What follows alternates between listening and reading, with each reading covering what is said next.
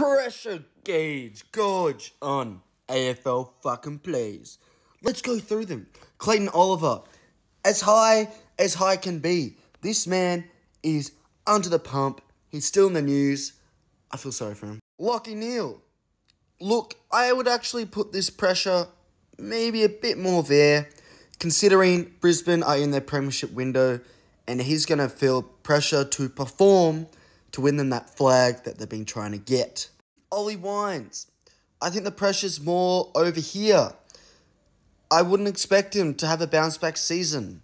Butters and Rozee and Jason Horne-Francis are the new midfield. Boak, Ollie Wines, you know, those older players. Ollie Wines isn't as old, but I understand why people think there's a lot of pressure on him.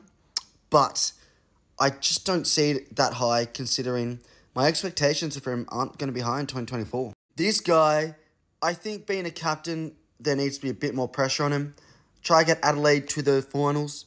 Well, they should have made it last year, but, you know, the Swans fucking paid the umpires, the goal umpires. Uh, put this more here.